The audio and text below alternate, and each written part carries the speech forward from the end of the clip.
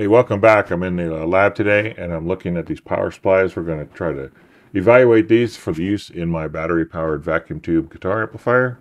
So I have two of these. This one here is a 15 watt one that states it's uh, 225 volts.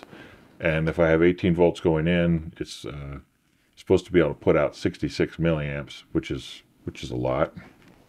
Now this one here is a 20 watt one, and at 225 volts, this one should put out about 88 milliamps.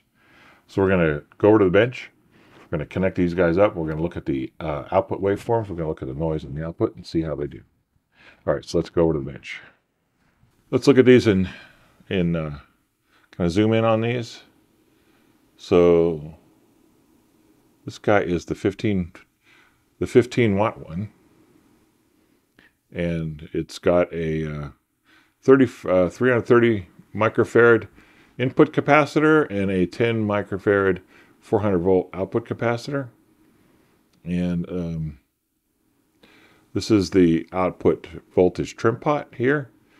Uh, here's the uh, the, the uh, transistor. There's a probably a Schottky diode over here, and this is the the uh, flyback transformer or the high voltage transformer.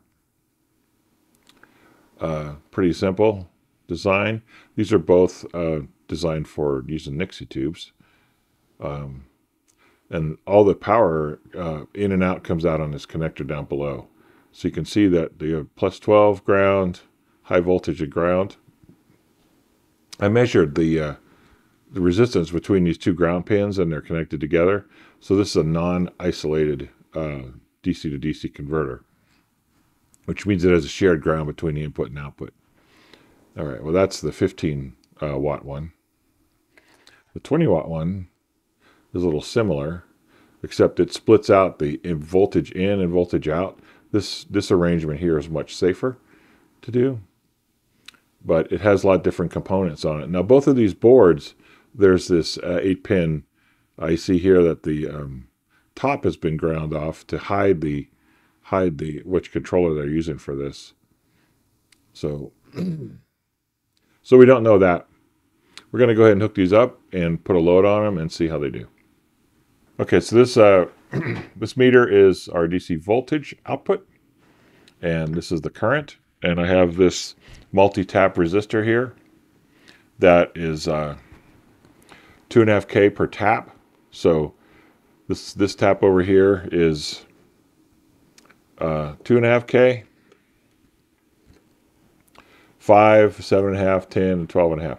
So this is a 12, 12.5 K resistor with multiple taps on it. All right, here's a 20 volt volt one. Um, I mean a 20 watt one. This is a 20 watt one, and this is the 15 watt one. Let's get that straight. So I'm gonna hook this up. I'm running it at 18 volts off of my bench power supply. And the way this is wired is Here's my, the, my input voltage is over here. Make sure I did this right. My input voltage is over here. My output voltage is over here. And uh, output voltage runs through this ammeter. Then it runs over to this, this voltmeter, and then it runs out to the load. So right now we have a, a 12.5K load on, on this.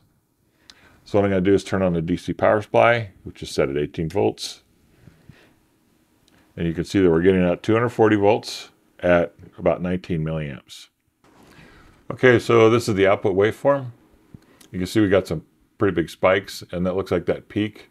Peak to peak on that spike's about 700 millivolts. So let's go in here and measure what the frequency is here. So we'll turn these cursors on. I'll let this down on manual. And put that cursor right there.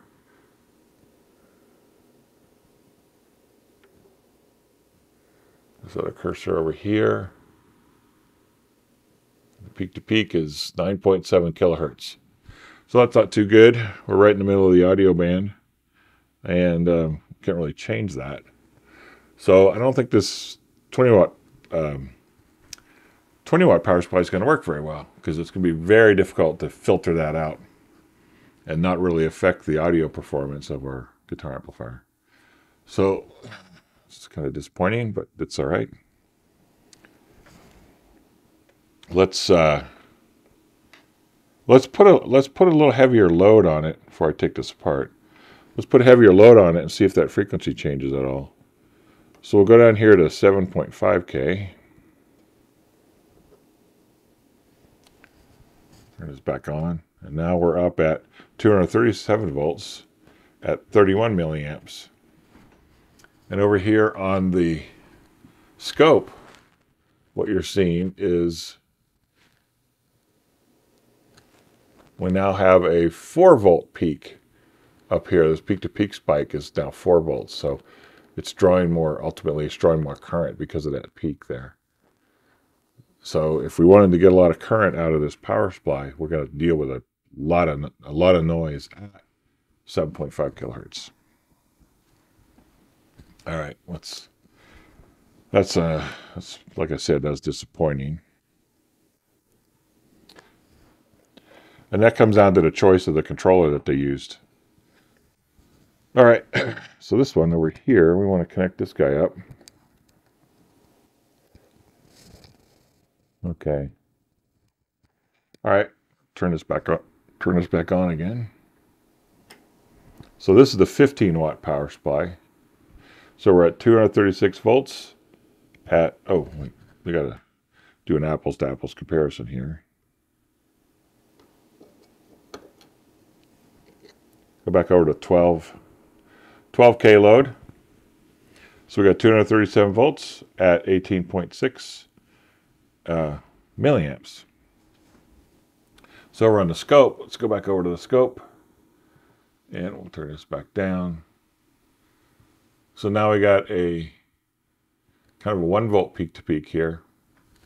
Let's measure that frequency there. Uh, what do we do here? This guy. Oh, we're already kind of lined up there.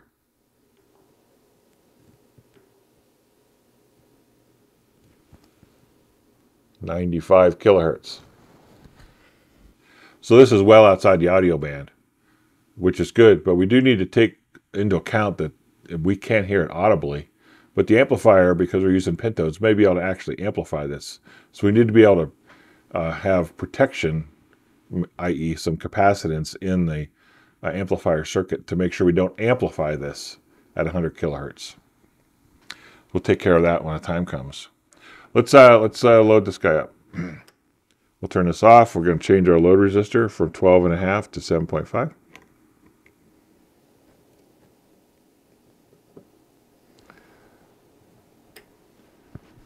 So now we're basically up to 31 milliamps at 237 volts. So we really haven't seen a voltage level drop over here. Over here on the scope, we're seeing a little bit higher peak voltage of about 1.2 volts. And we're still at 95 kilohertz, so that's good. All right, let's go a little higher. Because remember now, we should be able to get out about 60 milliamps at 15 watts. So now we're back down to a load of 5K. This went up to 46 milliamps at 236 volts. We're seeing a slight drop in our voltage over here. And we're up to one and a half, 1.4 volts over here. Let's keep going.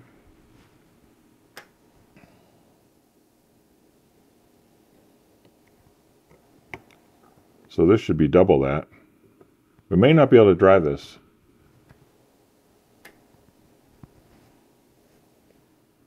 Oh, we are able to drive it. Okay. So we're at 233 volts at 90 milliamps. Well, that resistor might be getting pretty hot there. Um, you know, these are big devices, but I don't know what their power the power rating is.